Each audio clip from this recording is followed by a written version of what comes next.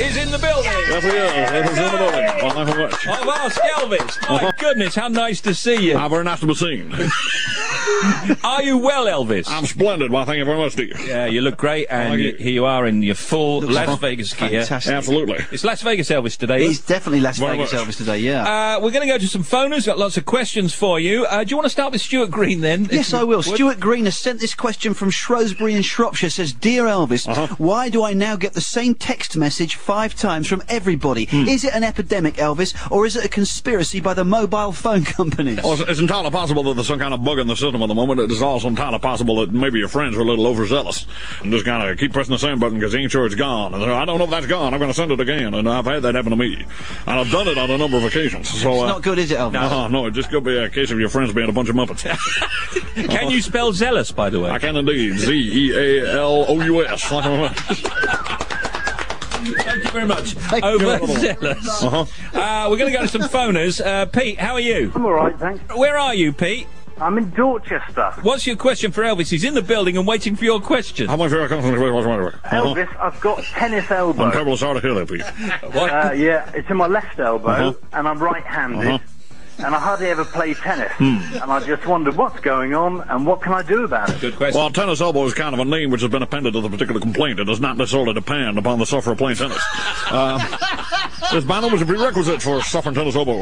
Lateral epicondylitis is a more correct term for tennis elbow. Uh, but let me just ask you, Pete, have you played any tennis at all in the last, say, five to ten years? Because that could be I've the played cause. Once about the last two years. What do you think, Elvis? That wouldn't be it, would it? I seriously doubt it. There's a kind of a repetitive strain thing. Well, that's an answer for me. That's an Uh-huh. awesome answer. Thanks very much. Aspects and anti-inflammatories, Pete. Thank you, Elvis. Well, thank you very much. Uh, here's Tim. This is from John Bertram in Mansfield, Nottinghamshire, Uh-huh. who says, Hi Elvis, Hey. England kick off their defence of the Rugby World Cup against the USA tomorrow. Uh-huh. I'm a bit worried though, Elvis, that the Americans will cause an upset. Are my fears in any way justified? Well, the last 14 out of the last 19 tests going back to March 2006. They are number seven in the world rankings, despite the fact they are still technically the reigning world champions. So, yeah, England have plenty to worry about. The United States may not be one of these things. Uh, they just lost in Canada, qualifying for the World Cup, got through a two-leg playoff with Uruguay to make it to France. They had one warm-up match against uh, Munster, which is a club in Ireland and not a bunch of TV comedy monsters from the 1960s. It didn't look like they uh, caused England many problems, but you never can tell the way England are playing right now. What about Luke Gross? Uh, Oh, he's amazing. Six foot nine of them. didn't he used to be in that band? He did not used to be in that band. You're thinking of Luke Goss. Uh, Luke, Luke Gross is a six foot nine rugby player. Um, Ah, yeah. Unless he's been changing his diet, I do not believe this is the same man. Have you ever scrummed down and played rugby, Elvis? I've scrummed down, but I've not played rugby. I hear you scrummed down very well. I do indeed. and I scrummed down scrub up too. quite nicely as well. uh-huh. Elvis is in the building. You're listening to Ask Elvis. Now, dear King, when I watch the X Factor on TV, I'm always baffled at how they manage to light the big X that they have on the stage. Can you clue me in, Elvis? Oh, it's very technical, but I'll do my best. There's a line a designer called Al Gurdon, and he specified 78 James Thomas PixelLine battens as part of his Latin rig for that big X over there. And uh, 32 of the PixelLines are rigged inside the main scenic X set piece hung above the center stage. And the fixtures are behind a diffused polycarbonate covering. And on the floor below, the center X PixelLine configuration is mirrored using all the 32 battens, this time set below a frosted Perspex floor. All right. Yeah. yeah. Tells you everything you need to know about the X on the X Factor. Go ahead and build one yourself and let me know how you get on. You're never going to get that anywhere else, are you? You tune to uh-huh. another station, you won't get that kind of thing. You're on Ask Elvis on Steve Wright in the afternoon at BBC Radio 2. We're going to go uh-huh. to another caller. Who's this now? Hello, this is Catherine from Amersham. Hello, Catherine. You're on Ask Elvis. Ask your question. Elvis is listening. We've got a beautiful new puppy. She's a Labrador Setter Cross. I'm very pleased to hear it. Uh, the only trouble with her is every time we take her outside, she eats gravel. Mhm, they do Now, that. Can you tell us why she does it and maybe give us some hints to stop her doing it? I wouldn't worry about it too much. Most puppy dogs grow out of this habit, but it is a very common habit among puppy dogs. and It's a very difficult thing to prevent.